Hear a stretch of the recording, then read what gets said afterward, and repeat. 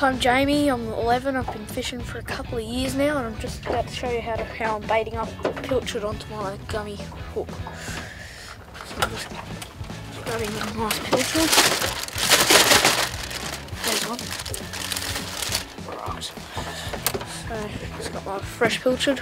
Well, not fresh, but pilchard. So, oh, just put that away.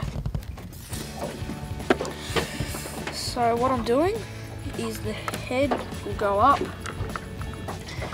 Then I'll put this hook in the, into its back and around the backbone and then it comes out like that.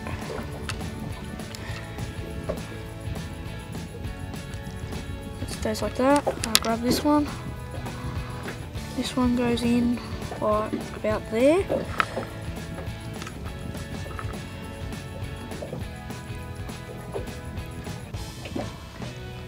Then starts coming out there.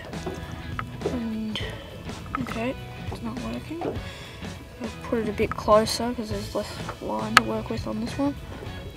Push that in like that. Bait it up and ready to go. So I'll take this out now.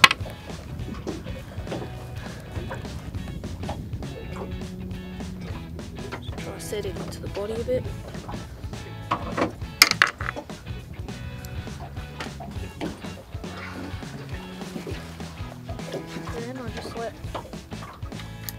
따로 거두세요.